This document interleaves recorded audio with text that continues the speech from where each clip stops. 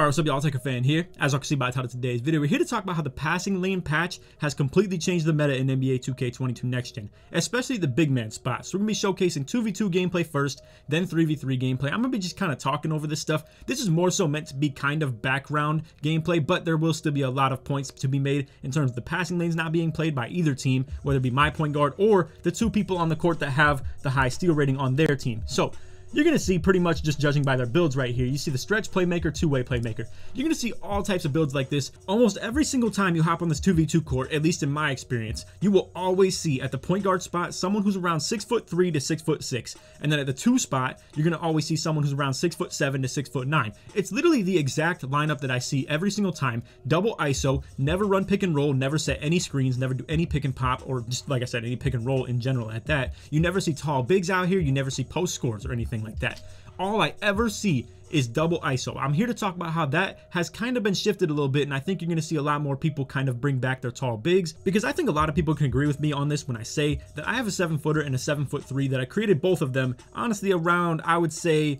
November, December, something like that. And honestly, I thought both those builds were very good. I saw these seven footers and seven threes were crazy on the rebounding. The shot blocking was insane. They still move pretty good in terms of speed. The one thing that really made them not quite up to par in terms of the other builds in this game is definitely the passing lanes. And now that they have been nerfed to an extent, and especially the Hall of Fame interceptor and the 90 steal plus threshold and stuff like that, I think you're going to see a lot more of these tall bigs come out here. And again, Stuff like this, bro. We're here to talk about how I really don't think this is good for the game. This is a horrible pass to be made. It's not Kitchen's fault. His dude is just ducking down as he's tapping the X button. Again, I think some people on my comments thought that I was over here getting frustrated because I have a build that is now 6'9 and I made it just for the Hall of Fame Interceptor. Or some of the people don't even know what builds I have and they just clicked on the video for the first time ever on my channel and they just assume they just assumed that I was Interceptor made or something like that. Listen, bro, before that build, I literally didn't even have anything that had Hall of Fame Interceptor in this game game. I was sitting here on these tall bigs with like silver and bronze. Now, I'm not gonna lie, we were getting done bad by these guys. I'm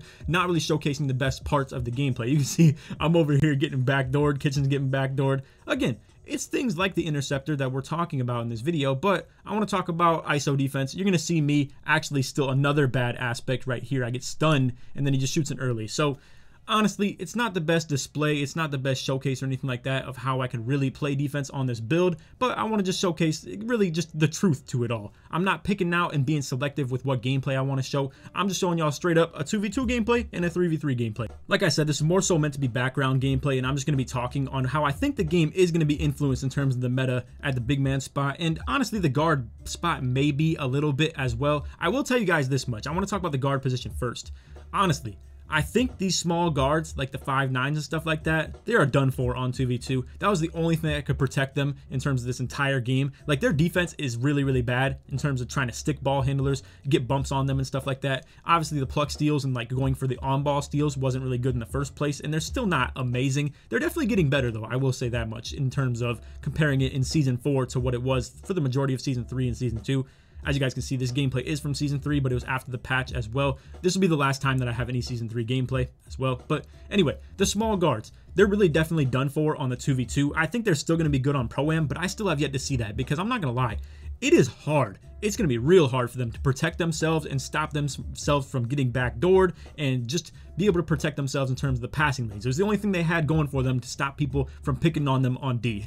and honestly, it's probably a good thing. I think those builds did need to get nerfed in some way. You guys hear me all the time in my videos talking about how stupid it is that the five nines are so dominant and they really have no weakness. And again, the passing lanes allowed them to not have that weakness.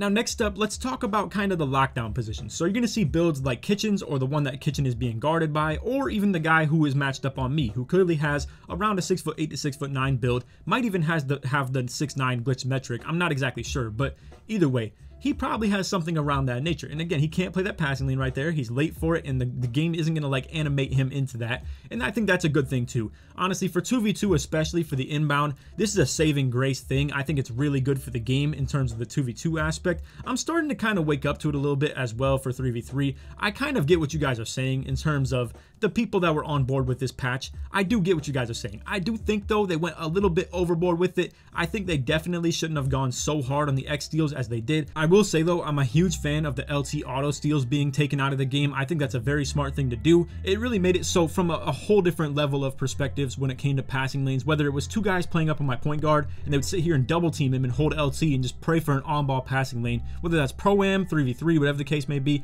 It's literally just threeing up and just putting two guys up on my guard and hoping for an on-ball passing lane. And then again, things like corner def defense where people aren't even tapping their X button and they're just getting LT lanes, whether it's passing from wing to corner, wing to corner right here, or just paint the corner, wherever the case may be. Same with on the backside as well if you dropped back a little bit and held your LT. Again, I don't like that stuff. I don't like the LT lanes being like an auto steal in the first place. I hated that, and I'm glad that I got taken out. But I do think they went just a bit overboard when it came to X lanes, to be honest with you guys. I am learning a little bit though. I might even have a video for it. I will give you guys a nice little tip or a tidbit of information that I'm to put in that video. But I'm learning the best way to play passing lanes now is to not even hold your LT at all. I'm starting to realize that even just holding your LT at all actually makes it so you can't get any passing lanes at all. they literally removed it entirely. So I'm sure a lot of people were on board with this in the past where you would hold LT and still tap your X button. I think some of us may have underestimated how many of those were LT lanes that they were giving us because we're still tapping the X button at the right time.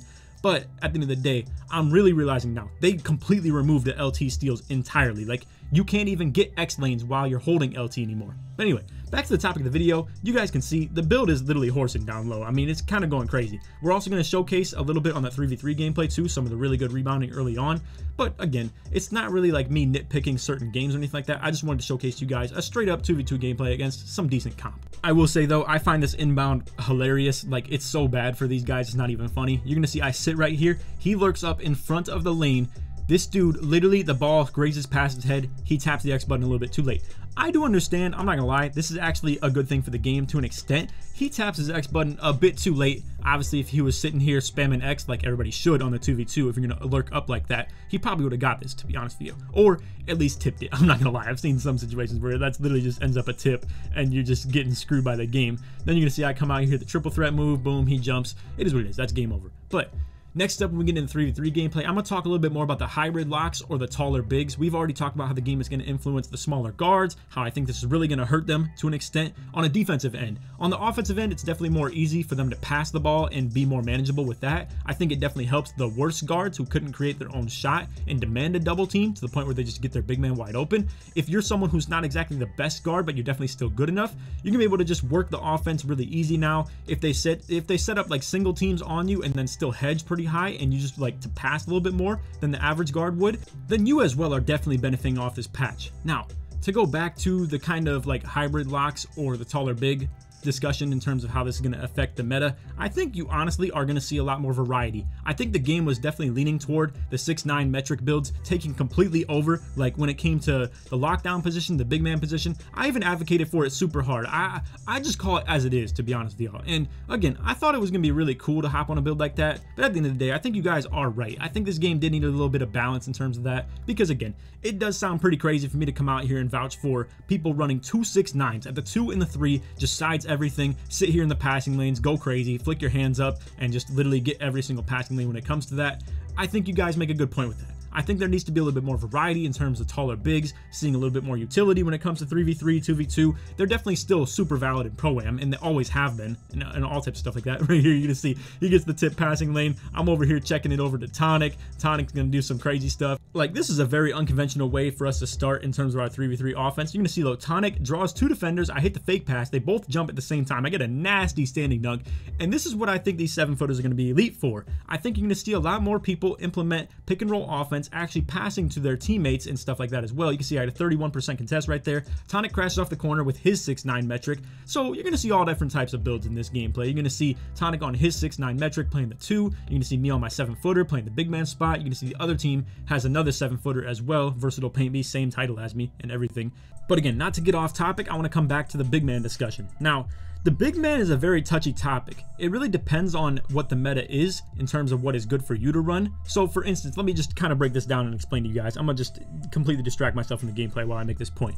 So what really depends on the big man meta is essentially is there a need for interior defense? Well, the need for interior defense depends on how many bigs are are you running into on 2v2, 3v3, all types of stuff like that. The, the need for rebounding depends on what other people are doing for rebounding. So if the trend becomes to get taller bigs out there on the 2v2 court or the 3v3 court, you're going to see more people need to bring taller bigs on the 2v2 and 3v3 court. Like if you're constantly running into a 7 foot 3 and you're a 6'9 playing the big man spot on 3v3, you're going to be getting constantly snagged on. Like I understand, yes, the whole vertical discussion and just like all types of yes, I still have decent rebound on a 6'9 metric and stuff like that. It's still a thing, but you're going to deal with rebounding struggles whether you're, whether or not you like it when you're playing a 7-3 or a 7-footer consistently or at least especially people who know what they're doing with it. So again, to come back to that discussion when it comes to the big man meta, I think it depends on what people is what's like trendy to give an example. So again, I think that when you see more people pop out here on taller bigs, you're going to get more frustrated with it when you have the 6'9 metrics out here. Again, also, I think more speed is going to be really nice to have at the two spot. You're going to see Tonic on this build right here. I don't know that the 6'9 metric is really that good of a lockdown build anymore at the two.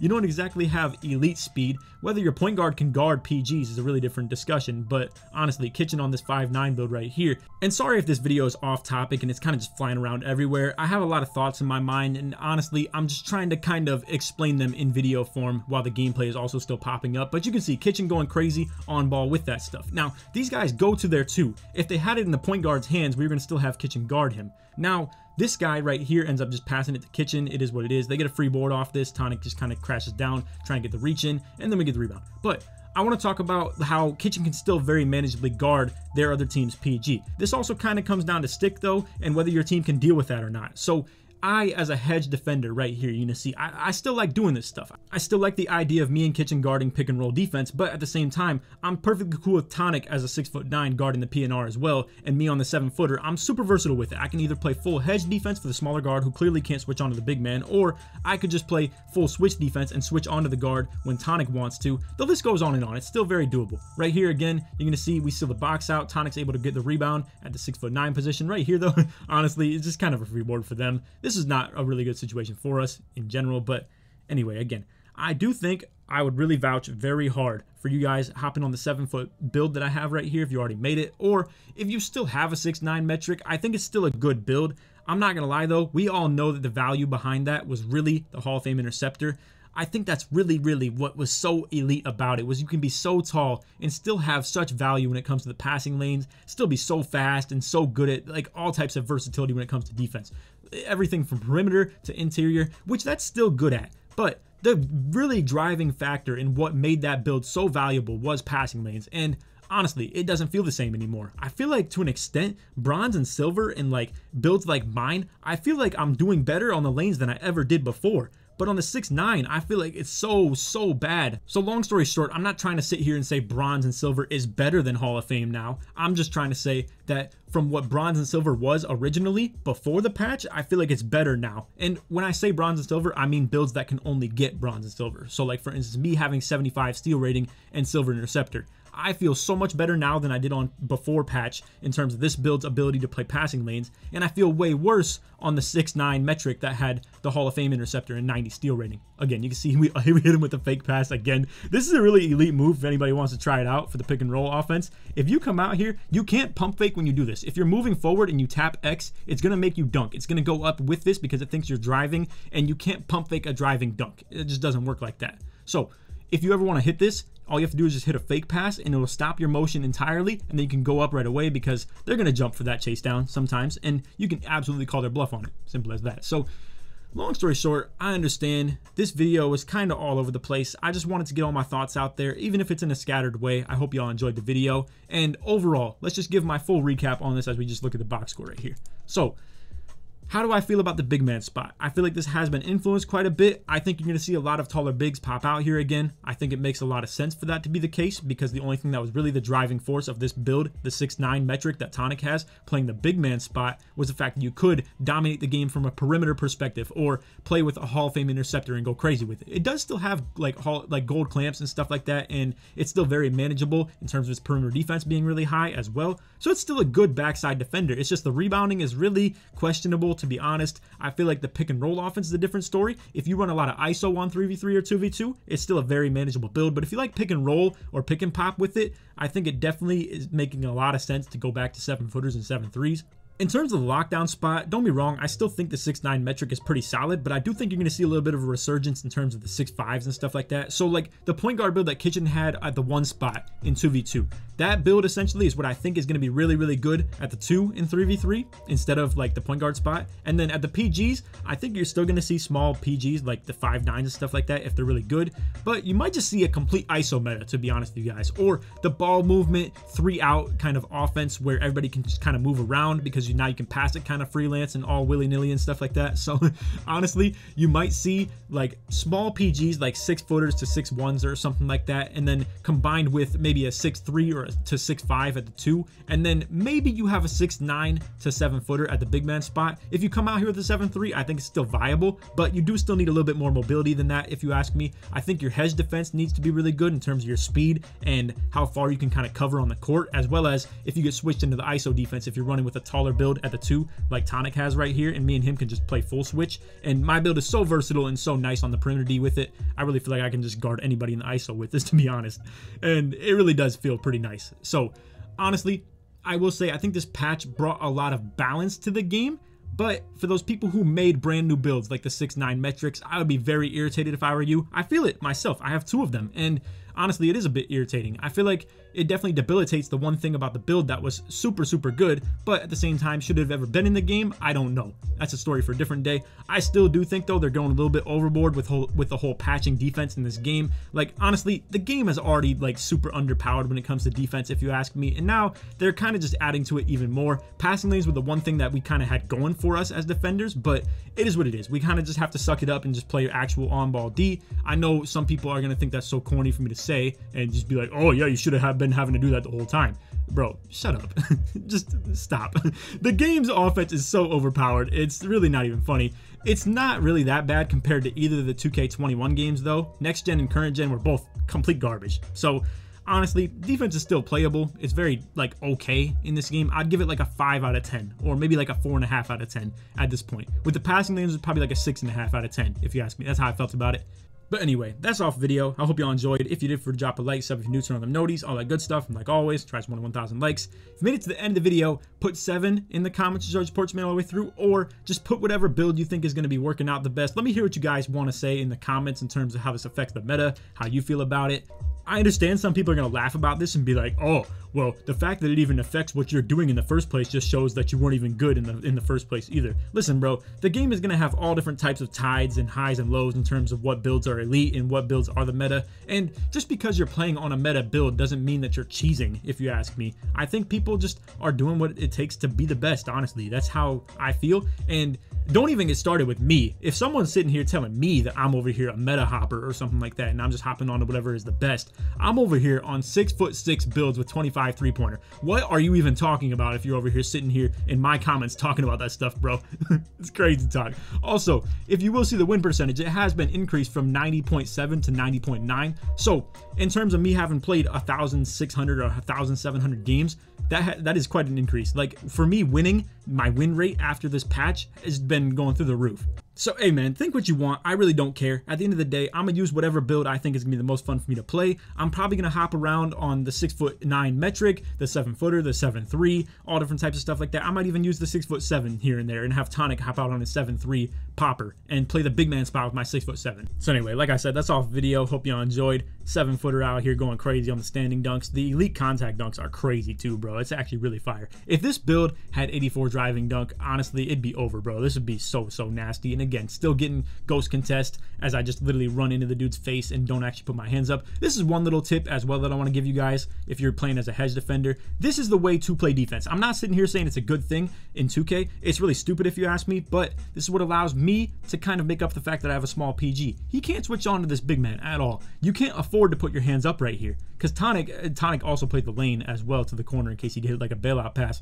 But again, this is what allows us to get two bodies on that. If it went long to my side or went long like to the middle, I could have got the rebound. And I'm still getting a hand in there as well as I'm getting back to the big man as the shot is in the air and Kitchen can get back to the guard. So again, I just want to vouch really hard for the way that I just play D right there. And again, like this build still has all the mobility to play pick and roll offense, has great rebounding as well, still a really good ISO defender. The list goes on and on. This is honestly, I was already leaning toward this build in the first place. I liked it a lot, eh, but I just had to really hop on the 6-9 for the sake of passing lanes. And it also was a cool little aspect that I could add in my game as well, that it would be a little bit more mobile, could have some driving contact dunks as well. Would have been pretty fun just to, in general, like play like that a little bit, a little bit more ball handle and versatility and stuff like that. But anyway, Again, that's all for the video. I hope you all enjoyed. If you did, for to drop a like, sub if you're new to on noties, all that good stuff. Like I said, if you made it to the end of the video, put seven in the comments to show support. Other than that, take it easy, man. Peace.